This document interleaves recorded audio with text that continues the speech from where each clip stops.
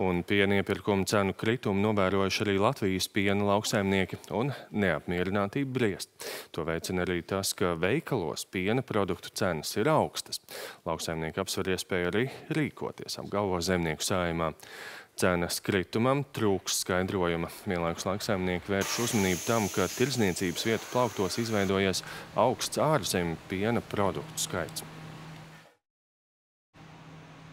Lauksaimnieki arī apsver domu, ka nu, mēs droši vien varētu izvēlēties taktiku, ka vienkārši tiek bloķēts arī vadošo veikalu tirdzniecības ķēžu noliktavas un bāzes, attiecīgi, lai tomēr arī nu, kaut kādā mērā parādītu arī to mūsu attieksmi, ko arī veikalu ķēdes rāda pašlaik pret Latvijas lauksaimniekiem un pienlopkopības sektoru. Latviešiem tādas pašas iepirkuma cenas kā lietuviešiem. Tas vienkārši ir drastisks, nokritušās par 40-50% kā kuram tas ir. Ja? Tas nav nopietni ziemas mēnešos. Ja kāds pārmet, ka vasarā bija ļoti labas piena iepirkuma cenas, tās bija vidējās Eiropas iepirkuma cenas beidzot. Nozares pārstāvi tiksies ar zemkopības ministru, taču tiek gaidīta visas valdības rīcība.